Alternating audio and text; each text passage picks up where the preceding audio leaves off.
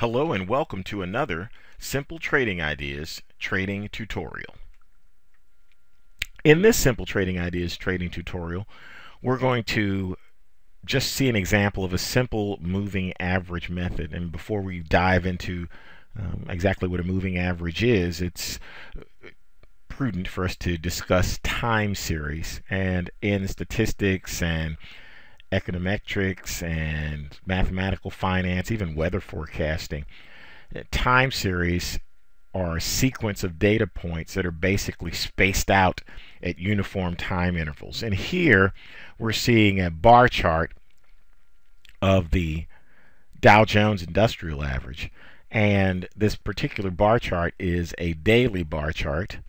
And as you can see, each of these bars is for a separate day. Okay, so this is essentially it's a series of different times. So it is a time series essentially. So the analysis and the whole point of even looking at time series is looking at the time series in an effort to extract some type of statistics or characteristics of the data that we can use. And in the financial markets, of course, we would like to use this type of data to predict or forecast future price movements. In actuality, what we are doing is we are anticipating future price movements. We can call them predictions. Perhaps when you anticipate a price movement and it becomes reality, uh, then people go back and say, well, it wasn't necessarily anticipated. I predicted that that was the case. But we'll remain uh, humble because we have to understand, as always, the market's in charge. Okay, so here we have our daily chart, and on this chart we have two different uh, moving averages, two very popular moving averages uh, in the financial markets. One is a 200-day moving average, okay, right here, and the other is a 200 is a, my mistake is a 50 period and 50 day moving average okay? Now if this were a different type of chart uh, it could be in any financial market actually. But say for instance this is we change from daily to uh, a weekly uh, chart of the Dow then this would be a 200 week moving average, and this would be a 50 week moving average. Okay, so the a moving average essentially allows us to look at a time series, to analyze a time series, and since a moving average is a trend following uh, technical indicator, we can see here that this trend is up and it the prices are staying uh, well above the 200 period moving average for sure. As we can see, the 50 period moving average is tracking a lot closer. Okay, a lot closer. So let's jump into taking a quick look at uh, the moving average and how it's calculated. The moving average gets its name is because it is an average. Okay, the a certain number of prices are all added together and then we take that sum and divide it by the number of prices. In most cases, the moving average is based upon the closing price. Okay, so here we have the this particular moving average level, this price right here, is based upon the last 50 closing prices. Okay, they're all added together and then divided by 50, and that's what we get. Now, in the case of the 200 period moving average, we come down here and the last 200 of these closing prices, okay, are all um, added together and then divided by 200 and this is the price we get. So that's our 200 period moving average right here. Now the interesting thing about the moving average is is if we look at say this particular uh, price level right here.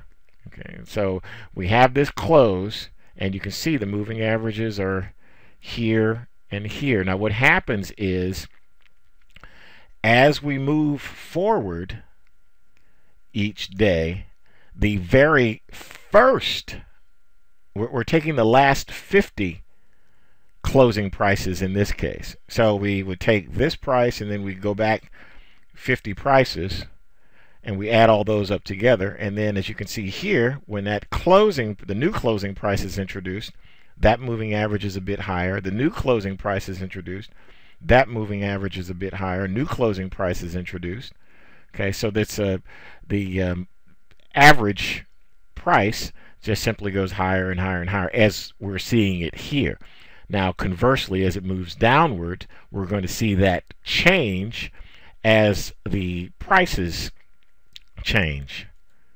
So we'll take a quick look. Okay, we'll move the window out of the way. And you can see here as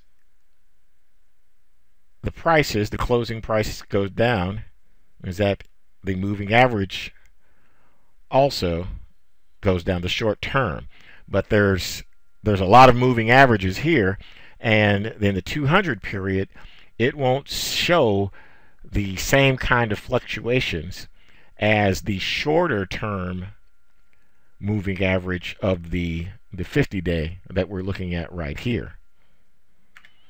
So in this moving average example, if we're looking for a, a simple moving average method, what some would do is basically if we're just taking a look at the 50 period, let's say we wanted a simple moving average method to uh, experiment with, then what we would do is, let's say we're going to look at an example and, and we want to use it in a moving average forecast. So we've got our 50 period moving average indicator right here, and entry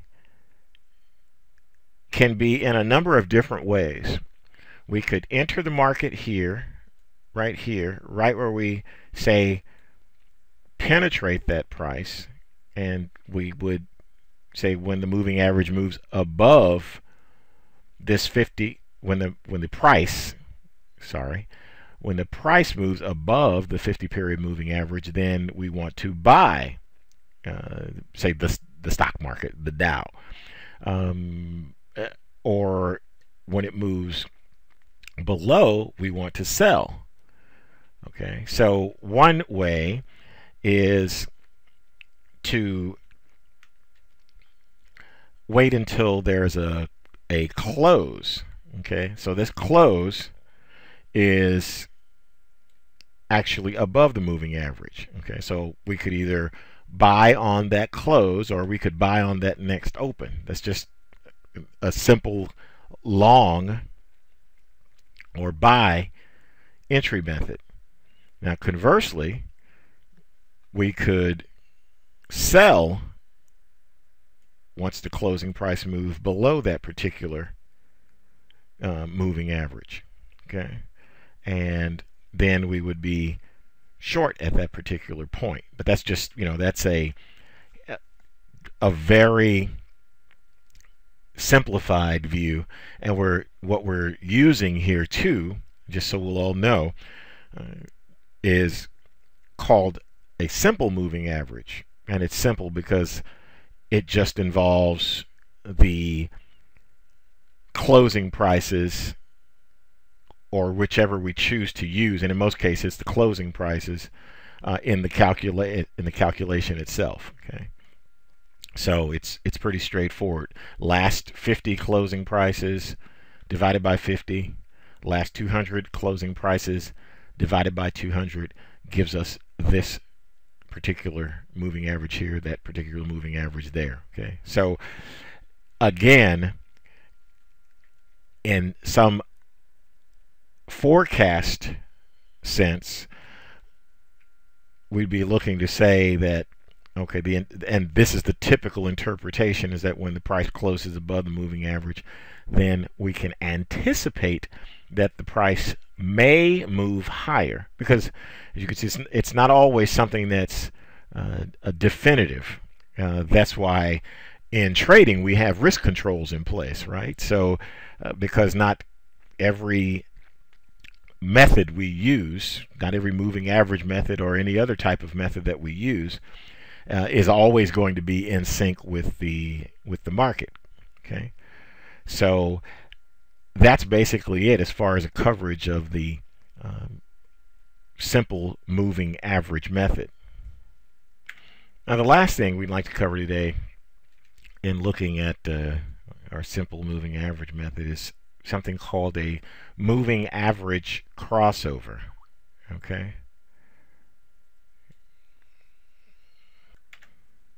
And here we go. We're going to take a look at a simple moving average crossover. Okay, there we go. There's a crossover right there. Now, how a crossover works in a moving average is we take the long term moving average we see right here. Now when the short term moving average comes from below the long term moving average and crosses over it, that the typical interpretation of that is that it's bullish and that uh, that is an opportunity for us to uh, to go long at that point. So here we see at this particular point this particular day uh, that the at the close the short-term moving average has crossed over the long-term moving average. So we have uh, a choice of things we can do here. If our method calls for it then we can buy the market at this particular point here right here on the close or we could of course use the the close use all of this as our trigger our signal and uh, and our trigger to buy on the open of the uh, next day. Okay, so that's a that's how a crossover works, and as you can see, that crossover can filter out a lot of a lot of different uh, types of trades, and can be very useful. And naturally, uh, you know, finding the best parameters for moving average crossovers is the subject of some uh, research, some experimentation uh, on the part of anyone who wants to use them. So that concludes our coverage of a simple moving average method uh, with some coverage of two very common moving averages, the 50-day moving average as well as the 200-day moving average. Uh, and examples of using you know moving average to forecast and a, an example of a simple moving average crossover. Thank you for joining us and we'll see you soon. Thank you for taking the time to join us for another Simple Trading Ideas trading tutorial. Please feel free to come to our website at www.simpletradingideas.com for more great trading information. Thank you and have a phenomenal day.